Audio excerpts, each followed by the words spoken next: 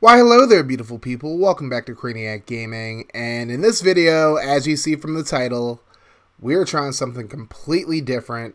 I'm stepping out of my comfort zone just a little bit. We're going to try out the new Superstar KO mode. Well, it's not really new, it's been out for a month and I just never really got around to trying it out. But Headstrong, who is a good friend of the channel, make sure you guys check him out. The link to his channel is going to be in the description along with some of his Superstar KO modes, but he really talked up this mode. He said he feels like it's the best game mode in this game. So I got curious. I was like, let me try this mode out. Now, I'm not a big multiplayer guy by any means. You're not going to see me play Ultimate Team on this channel. And you're probably not going to see me play much Draft Champions or even online head to head at all. I figured I'd give this mode a try and see if I liked it. So if you guys enjoy this video and you want to see me do more of these, let me know in the comment section below. Make sure you guys slap that like button. We get the 30 likes and I'll keep this thing going.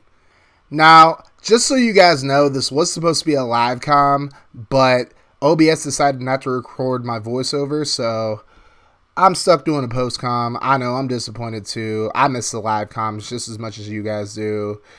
But the next video should be a live com as far as Superstar KO goes if I decide to keep going with this series.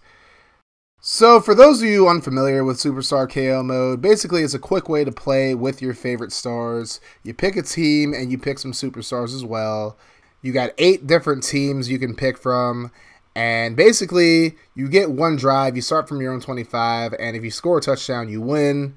After each team gets the possession, if nobody scores, you get a tug of war where you each have three chances to move the ball forward. If you score, you win, but whoever has the ball on the other person's side of the field wins. And here we go, guys. Trying something new. Should be a lot of fun. So, the teams that I have to pick from are Dot City, the Magicians, the Snappers, the Record Breakers, the Shutdown, the Rhythm, the Florida Keys, and the Backyard Heroes. Each team has you know, different advantages and disadvantages, so strengths and weaknesses and whatnot. But the team I picked, the Snappers, I know Thanos probably loves this team because it's balanced, as in his eyes, all things should be. Bruce Arians is the coach of this team, and since I'm doing a Buccaneers franchise, go check that out, by the way. I figured I'd pick his team. Now, the first offensive player I decided to pick up it was a choice between DeAndre Hopkins, Melvin Gordon, Todd Gurley, and Ezekiel Elliott, and I decided to go with Andre Hopkins. Forgive me, fellow Titans fans. I had to get this man. He is the best receiver in the league, in my opinion, at least. Now we get a second offensive player.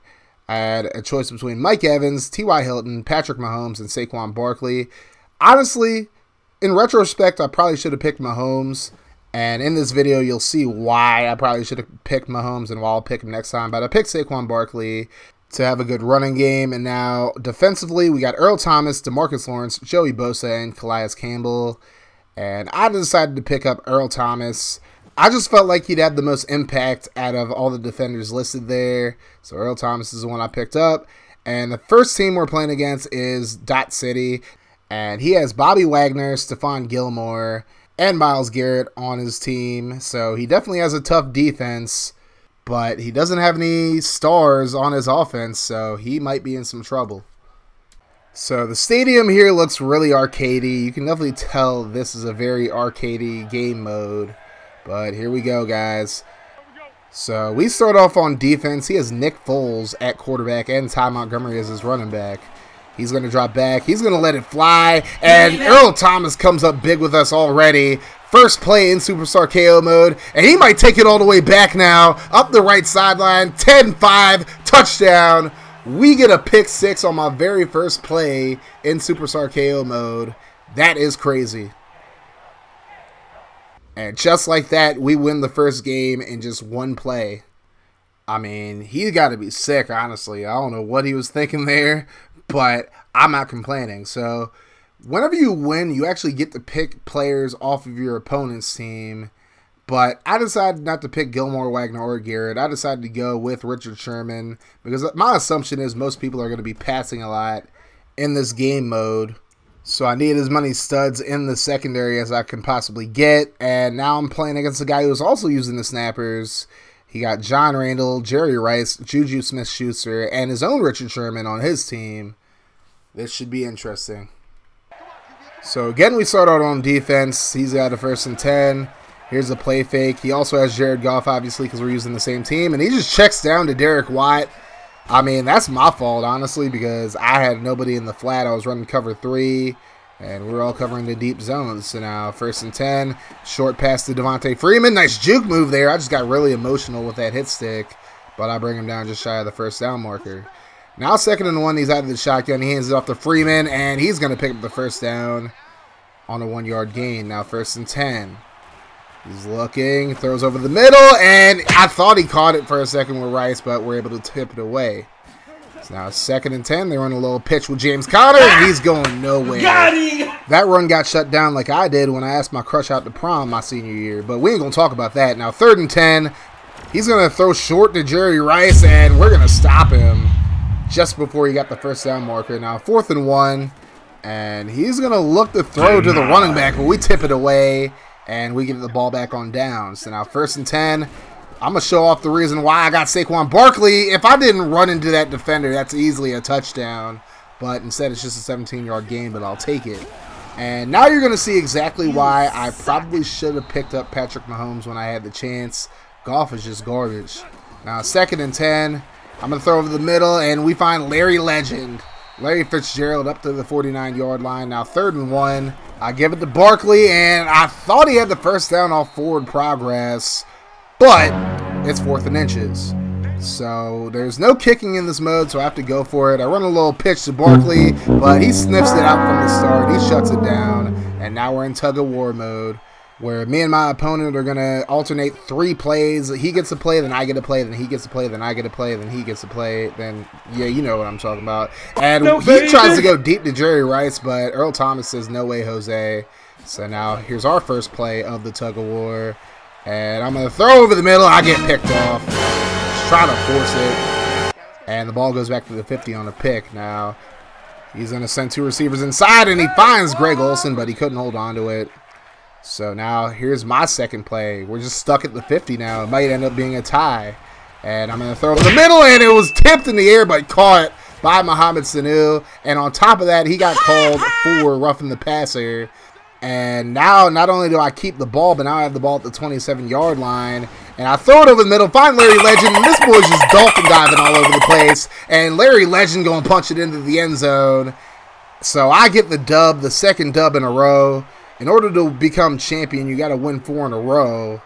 But I'm halfway there now, and just two more victories away from being the champ. This one was much tougher than the first game, obviously, but either way, a win is a win. So I decided to pick up Mike Evans. I had a chance to pick him up before, but now I have a second chance, and I am going to pick him up. I had a choice between Kelce, Odell, Jerry Rice, and two Juju's, but I took Mike Evans instead. And I got Mike Evans and DeAndre Hopkins going up against the rhythm now. We got Jalen Ramsey, Lawrence Taylor, Odell Beckham, Calais Campbell, and Patty Mahomes.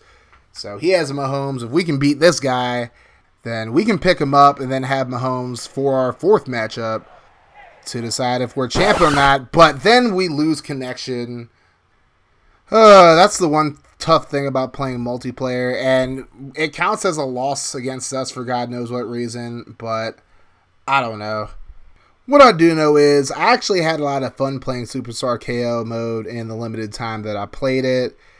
And if you want to play an online mode that isn't Draft Champions and also isn't Ultimate Team, you want to play a mode where you don't have to do all the microtransactions and whatnot to boost your team up and whatnot. I would definitely say play Superstar KO mode. It is definitely a fun little mode I'm not going to say that I'll play it over franchise mode, but Superstar KO mode is definitely a mode that I'll be playing a lot for the course of Madden 20.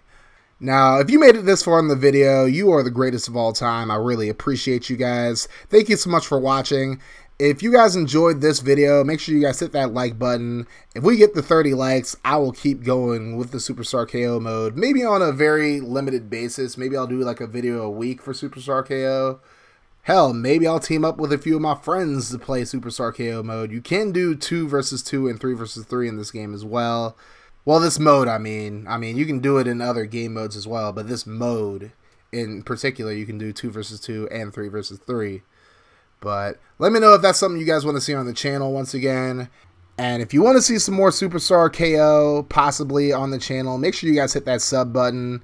As well as if you want to see some more franchise content, which is my specialty, make sure you guys hit that sub button. Also, make sure you turn your notifications on as well to join the notification gang and if you guys like what I do in the channel and you want to support me in a more personal way, consider becoming a patron. The link to my Patreon page is going to be in the description.